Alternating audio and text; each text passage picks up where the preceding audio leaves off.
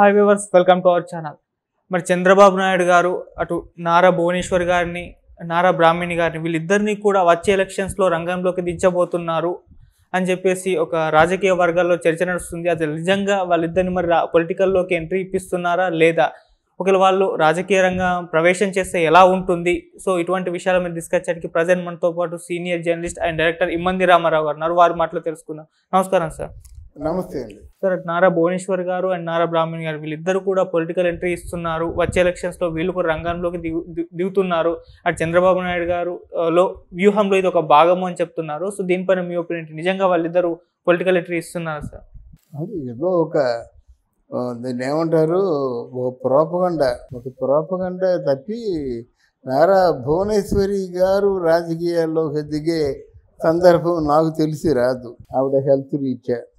రెండవది నారా బ్రాహ్మణి గారు మాత్రం రాజకీయాల్లోకి వస్తారు. ఎందుకంటే ఆవిడలో వ్యాస్ట్ నాలెడ్జ్ ఉంది. అలా ఇంటర్నేషనల్ ట్రేడ్ సమిట్లోనూ ఆవిడ ప్రెజె ప్రాజెక్ట్ ప్రజెంటేషన్కి అందరూ మతిపోయిందన్నమాట. ఇంత గొప్పగా ప్రాజెక్ట్ ప్రజెంటేషన్ చేస్తుందా అని చెప్పేసి అందరూ ఆశ్చర్యపోయారు అన్నమాట అంత తెలివైంది.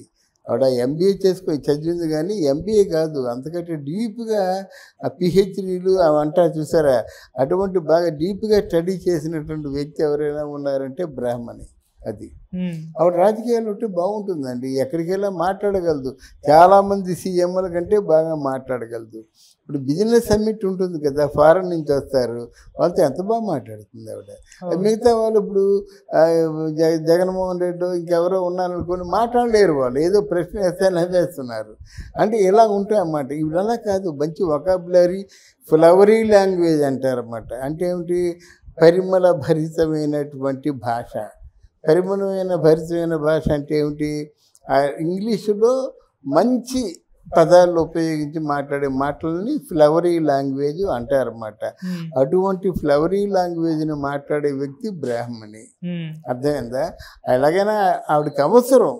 అంటే రాజకీయాల్లో రాజకీయాలు ఇక్కడితో ఆగకుండా ఉండాలంటే డెఫినెట్గా మరి లోకేష్ తప్పకుండా రాజకీయాల్లో ఆయన మళ్ళీ ఆయన ఆ నాన్న వంతు కృషి చేయవలసిన అవసరం ఎంతైనా ఉంది అందులో ఇప్పుడు ఏంటంటే నిక్ ఆఫ్ ది మూమెంట్. ఆపదలో ఆదుకోవాల్సిన అవసరం ఉందన్నమాట ఇప్పుడు సరైనటువంటి సలహాలు ఇవ్వడం కానీ సరిగ్గా ఆయనకి ఆ చేదోడు వాదోడుగా ఉండడం కానీ ఇవన్నీ చాలా అవసరం అంటున్నాను అన్నమాట నేను అందుకు బ్రాహ్మణి తాలూకు సపోర్టు కావాలి. ఆవిడకి అలాగే సార్ అంటే బ్రాహ్మణి గారు అటు బాలకృష్ణ గారు పోటీ చేస్తున్న హిందూపురం నుంచి నిలబడుతున్నారు అని. అంటే బాలకృష్ణ గారు ఆ హిందూపురం నుంచి వైసీపీ నేతలు ఒక ఫిమేల్ వేరే వాళ్ళని దించుతున్నారు సో అందుకోసమే బాలకృష్ణ గారిని కాకుండా నారా బ్రాహ్మణి గారిని వాళ్ళకు పోటీగా దించుతున్నారు అంటే హిందూపురంలో బాలకృష్ణది నల్లేరు మీద నడకండి. అంటే హిందూపురం అంటే బాలకృష్ణకి చాలామంది ఓటర్స్ ఉన్నారన్నమాట. అక్కడ బాలకృష్ణని తప్పించి ఎవరిని ఎంపిక చేసుకోరు. అంటే బ్రాహ్మణి మొట్టమొదటిసారిగా ఎలక్షన్లో నిలబడుతుంది కనుక బాగా నమ్మకం అయినటువంటి ప్రధానికం మధ్యనే ఆవిడ్ని ఏ- ఎంపిక చేసుకుంటారన్నమాట. అక్కడ హిందూపురంలో మన బాలకృష్ణ గారు చాలా చేశారు. అంద- అందులో మాత్రం సందేహం లేదు. ఏదో ఎలక్షన్లో గెలిచేసిన తర్వాత మళ్ళీ ఐదు సంవత్సరాలకు ఒకసారి కనిపించినట్టు కాకుండా హిందూపురానికి చాలా మేలు చేశాడు. అది అది ఆలోచించుకోవాలి. బ్రాహ్మణ్ణి అక్కడ దింపి గెలిపించడం మాత్రం చాలా గొప్ప ఆలోచన. సార్ అంటే ఈ రాజకీయాల్ని తట్టుకొని నిలబడగలదా నారా బ్రాహ్మణి గారు? తప్పకుండా అండి ఆవిడ చదువుకుందండి ఆవిడ. చదువుకుంది తర్వాత వీడికి ఇప్పుడు జనరేషన్ బాగా నిలబడతారండి.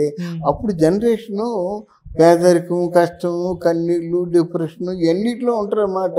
రే ప్ర- ప్రజలు ఎలాగ ఉంటారా అది అని ఇలాగ రకరకాల ఇప్పుడు ఇదే చంద్రబాబు మన జగన్మోహన్ రెడ్డి ప్లేస్లో వైఎస్ రాజశేఖర ఉంటే ఇంత కఠినంగా శిక్షించేవాళ్ళ శిక్షించమని ఫోర్స్ చేసేవాడా? చేయరు. ఎందుకంటే పోండేరా ముండగుడికి ఎంత నలభై ఒక సంవత్సరం రాజకీయాల్లో ఉన్నాడు ఇప్పుడు ఆయన బాధ పెడితే మనకేమవుతుంది? అనుకుంటారు అన్నమాట ఇప్పుడు అలా కాదు కదా. ఎవరు ఎలా పోయినా పర్వాలేదు. అనుకున్నది సాధించవలసింది. అది ఇప్పుడు ట్రెండ్ అన్నమాట. అందువల్ల వీళ్ళేం భయపడరు బాధపడరు ఇము ఇముడుతారా ఇముడరా అనుకోవాల్సిన అవసరం లేదు. ఖచ్చితంగా వాళ్ళు అనుకున్నది సాధిస్తారు. ఓకే. అది. ఖచ్చితంగా మరి నారబ్రాహ్మణ్ గారు గెలుస్తారా సార్? అంటే గెలిచే ఛాన్స్ ఏమన్నా ఉందా? అంటే ఫస్ట్ టైం పోటీ చేస్తున్నారు కాబట్టి సో వైసీపీ నేతలు ఆమెను క్యాష్ చేసుకొని ఒక పవర్ఫుల్ లీడర్ని ఆమెకు అగనిస్ట్గా దించి. ఇప్పుడు రాజకీయం మంచి రసకందాయంలో పడిందండి. ఇది దౌర్జన్యంగా చంద్రబాబు నాయుడిని అరెస్ట్ చేశారండి. మనకి ఏదైనా సెంటిమెంటు భగవంతుడు అంటూ వాడు ఉన్నారనుకుంటే ఎంత దౌర్జన్యంగా చంద్రబాబుని అరెస్ట్ చేశారు. అంతే దౌర్జన్యంగా ఆయనకు కూడా ఒక అటాక్ ఉంటుందండి. ఎవరికి? మన జగన్మోహన్ రెడ్డికి. అందువల్ల ఆ విధంగా ఆయనకు మంచి దెబ్బ తగలొచ్చు. వీళ్ళు ఊరుకోరు. ఎందుకంటే ఒక పావుని నిద్రపోతున్న పావును నిద్రపోతున్న సింహాన్నో ఎలాగా జూలు పట్టుకొని నిద్ర లేపితే అది ఊరుకోదు అది. అవతల అక్కడ ఆ- శవాన్ని లేపేస్తే కానీ నిద్రపోదు అన్నమాట. అటువంటి ఒక పరిస్థితి ఉంటుంది. రేపటి కాంచి ఆంధ్రదేశం అల్లకల్లోలం అయిపోతుంది. రెచ్చగొడతారన్నమాట. ఎక్కడికక్కడ తగలడిపోతుంటాయి బస్సులు అయ్యి ఎక్కడికక్కడ అలాగ హింసాత్మకమైనటువంటి ధోరణికి దిగుతారు. తర్వాత ఏమో ఇరవై ఐదు మంది చచ్చిపోయారు కదా. ఇరవై మంది చచ్చిపోయారు కదా. వీరికి ఏం సమాధానం చెప్తావు? ఒక వ్యక్తి మీద అంత ప్రేమతో వాళ్ళు చచ్చిపోయారు కనుక ఇరవై ఐదు మందిని తీసుకొస్తావా నువ్వు? అంటారు. ఆఫ్టర్ ఆల్ నూట పద్దెనిమిది కోట్లు ఏదో ఉందని చెప్తున్నావు. ఎఫ్ఐఆర్ లేదు దానికి రెలివెంట్ డాక్యుమెంట్స్ లేవు ఏమీ లేకుండా అరెస్ట్ చేసేస్తున్నావు. అక్కడ సిబిసిఐడి కన్ఫర్మ్ చేసింది నలభై మూడు వేల కోట్లు. అంటే నూట పద్దెనిమిది కోట్లకేమో నువ్వు జైల్లో పెట్టేస్తావా? నలభై మూడు వేల కోట్లకి నువ్వేం యాక్షన్ తీసుకోవా? ఇవన్నీ వస్తాయి నెక్స్ట్. ఏ ఎక్కడ ఎవరు ఊరుకుంటారండి? మిగతా ప్రజలే ఉంటారు కదా. ప్రజలకి సర్వ హక్కులు ఉంటాయండి. ఆ ప్రశ్నిస్తే మనల్ని ఏం కొట్టేస్తారేమో? భయంతో ఊరుకుంటారు కానీ ప్రశ్నించాలంటే సమాధానం చెప్పాలి కదా. భారతదేశ పౌరుడుగా ఓటు హక్కున్న పౌరుడుగా ఆధార్ కార్డు ఉన్న పౌరుడుగా మీరు ప్రశ్నించవచ్చు. సమాధానం చెప్పాలి. అర్థమైందా. అందువల్ల ఈయన ఏం చేశారంటే మైండ్ గేమ్ ఆడుదామని జగన్మోహన్ రెడ్డి మైండ్ గేమ్ ఆడాడు చంద్రబాబు నాయుడునేమో లేపేద్దాము. తర్వాత లోకేష్ని కూడా అరెస్ట్ చేద్దాం. ఇద్ద- ఇద్దరిని అరెస్ట్ చేస్తే వాళ్ళ కుప్ప గుడిపోతుంది. వాళ్ళ సెకండరీ లీడర్స్ మాకు క్యాండిడేట్లు ఎవరు లేరు. అందువల్ల వాళ్ళ పార్టీ కుప్ప కూలిపోతుంది తర్వాత అంటారా ఈ నాలుగు మాసాలు ఉంది. నాలుగు మాసాల్లో మన పవన్ కళ్యాణ్ ఏదో విధంగా చేద్దాం ఏదో విధంగా చేసి వాళ్ళని పడగొడదాం అనేటువంటి ఆలోచనతో ఉన్నారు. కానీ ఎత్తుకు పై చేస్తే కానీ కుదరదు. ఇది ఇవాళ అనుకుంటున్నారు కానీ వీళ్ళు అనుకున్నట్టు ఎందుకు సాగుతుంది? అన్నీ వీళ్ళు అనుకున్నట్టు సాగితే మరి మరి రాజకీయాలు ఎందుకు? అలా ఉండదు మారుతుంది. ఇప్పుడు రాజకీయం మంచి రసకందాయంలో పడిందండి. ఇది దౌర్జన్యంగా చంద్రబాబు నాయుడిని అరెస్ట్ చేశారండి. మనకి ఏదైనా సెంటిమెంటు భగవంతుడు అంటూ వాడు ఉన్నారనుకుంటే ఎంత దౌర్జన్యంగా చంద్రబాబుని అరెస్ట్ చేశారు? అంతే దౌర్జన్యంగా ఆయనకు కూడా ఒక అటాక్ ఉంటుందండి. ఎవరికి? మన జగన్మోహన్ రెడ్డికి. అందువల్ల ఆ విధంగా ఆయనకు మంచి దెబ్బ తగలొచ్చు. వీళ్ళు ఊరుకోరు. ఎందుకంటే ఒక పావుని నిద్రపోతున్న పావును నిద్రపోతున్న సింహాన్నో ఎలాగా జూలు పట్టుకొని నిద్ర లేపితే అది ఊరుకోదు అది. అవతల అక్కడ ఆ- శవాన్ని లేపేస్తే కానీ నిద్రపోదు అన్నమాట. అటువంటి ఒక పరిస్థితి ఉంటుంది. రేపటి కాంచి ఆంధ్రదేశం అల్లకల్లోలం అయిపోతుంది. రెచ్చగొడతారన్నమాట. ఎక్కడికక్కడ తగలడిపోతుంటాయి బస్సులు అయ్యి ఎక్కడికక్కడ అలాగ హింసాత్మకమైనటువంటి ధోరణికి దిగుతారు.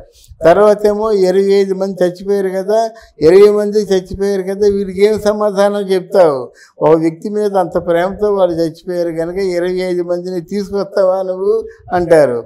ఆఫ్టర్ ఆల్ నూట పద్దెనిమిది కోట్లు ఏదో ఉందని చెప్తున్నావు. ఎఫ్ఐఆర్ లేదు దానికి రెలివెంట్ డాక్యుమెంట్స్ లేవు ఏమీ లేకుండా అరెస్ట్ చేసేస్తున్నావు. అక్కడ సిబిసిఐడి కన్ఫర్మ్ చేసింది నలభై మూడు వేల కోట్లు. అంటే నూట పద్దెనిమిది కోట్లకేమో నువ్వు జైల్లో పెట్టేస్తావా? నలభై మూడు వేల కోట్లకి నువ్వేం యాక్షన్ తీసుకోవా? ఇవన్నీ వస్తాయి నెక్స్ట్? ఏ ఎక్కడ ఎవరు ఊరుకుంటారండి? మిగతా ప్రజలే ఉంటారు కదా. ప్రజలకి సర్వ హక్కులు ఉంటాయండి. ఆ ప్రశ్నిస్తే మనల్ని ఏం కొట్టేస్తారేమో? భయంతో ఊరుకుంటారు కానీ ప్రశ్నించాలంటే సమాధానం చెప్పాలి కదా. భారతదేశ పౌరుడుగా ఓటు హక్కున్న పౌరుడుగా ఆధార్ కార్డు ఉన్న పౌరుడుగా మీరు ప్రశ్నించవచ్చు. సమాధానం చెప్పాలి. అర్థమైందా? అందువల్ల ఈయన ఏం చేశారంటే మైండ్ గేమ్ ఆడుదామని జగన్మోహన్ రెడ్డి మైండ్కే మారాడు. చంద్రబాబు నాయుడునేమో లేపేద్దాము తర్వాత లోకేష్ని కూడా అరెస్ట్ చేద్దాం. ఇద్ద- ఇద్దరిని అరెస్ట్ చేస్తే వాళ్ళ కుప్ప కూలిపోతుంది వాళ్ళ సెకండరీ లీడర్స్ మాకు క్యాండిడేట్లు ఎవరు లేరు. అందువల్ల వాళ్ళ పార్టీ కుప్ప కూలిపోతుంది తర్వాత అంటారా ఈ నాలుగు మాసాలు ఉంది. నాలుగు మాసాల్లో మన పవన్ కళ్యాణ్ ఏదో విధంగా చేద్దాం ఏదో విధంగా చేసి వాళ్ళు పడగొడదాం అనేటువంటి ఆలోచనతో ఉన్నారు. కానీ ఎత్తుకు పై చేస్తే కానీ కుదరదు. ఇది ఇవాళ అనుకుంటున్నారు కానీ వీళ్ళు అనుకున్నట్టు ఎందుకు సాగుతుంది? అన్నీ వీళ్ళు అనుకున్నట్టు సాగితే మరి మరి రాజకీయాలు ఎందుకు? అలా ఉండదు మారుతుంది. Okay. Thank you so much sir. Thank you అమ్మా థ్యాంక్ యూ వెరీ మచ్.